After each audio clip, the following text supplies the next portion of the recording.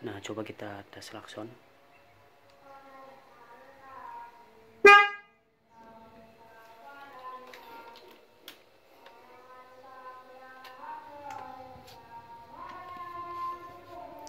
Nah, jadi ini saya pasang di motor New Mega Pro ya. Merek Denso tanpa relay dia kenceng banget apalagi dua ya. Kalau untuk New Mega Pro kan dia klaksonnya ada dua ya.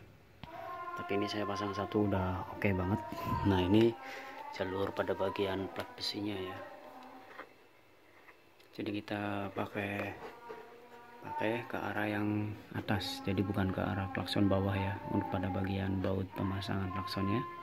Yang ngambilnya yang di atas bukan di bawah. Kalau yang klakson ini kan dia ngambilnya di bawah.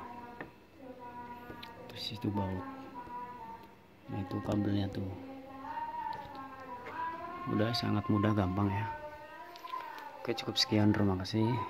Jadi kapan-kapan kita tes suara lagi karena ini di dalam rumah gak enak.